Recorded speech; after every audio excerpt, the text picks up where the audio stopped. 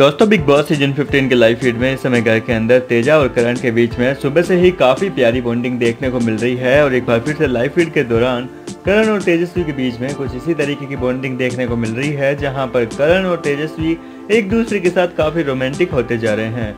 दरअसल दोस्तों, करण कुंद्रा ना धोकर पूरी तरीके से तैयार हो चुके हैं और करण का लुक देखने के बाद आज तो तेजस्वी करण से काफ़ी इम्प्रेस नज़र आ रही है। इसीलिए दोस्तों, करण कुंद्रा की तेजस्वी ने जमकर तारीफ़ भी कर डाली। वहीं दोस्तों, इसके बाद में तेजस्वी ने करण से एक सवाल किया कि एक चीज़ बता, अगर तुझे एक गर्लफ्रेंड और एक टेढ़ी दिया जाए तो तू दोनों में से किसे चूज़ करेगा? जिसके बाद दोस्तों, करण ने जो जवाब दिया, उससे तो तेजस्वी प्रकाश के चेहरे पर एक प्यारी सी स्माइल आ गई। क्योंकि दोस्तों, तेजस्वी को करण ने बड़े ही प्यार से कहा कि देखो, मुझे कुछ ना तो गर्लफ्रेंड चाहिए और ना ही टेढ़ी चाहिए। मुझे तो बस तुम चाहिए जो तुम मुझे मिल चुकी हो, और मैं तुम्हारे पीछे पूरी तरीके से पागल हूँ। ये सुनने के बाद दोस्तों तेजस्वी प्रकाश के चेहरे पर जो स्माइल आई, वो आप इन तस्वीरों को देखकर अंदाज़ा लगा सकते हैं कि इस समय तेजू कितनी ज़्यादा खुश है।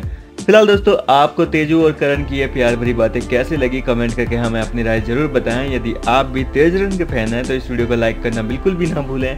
चैनल पर नया हो तो सब्सक्राइब ज़रूर करें, ताकि बिग बॉस सीज़न 15 की हर खबर आप तक पहुँचे सबसे पहले।